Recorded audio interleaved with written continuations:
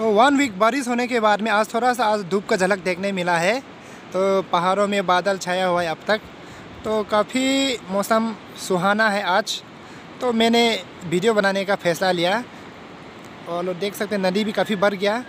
ये है highway camp सुसी कंपनी हाईवे कैम्प और यहाँ नदी नज़ारा के लिए मैं यहाँ से वीडियो कर रहा हूँ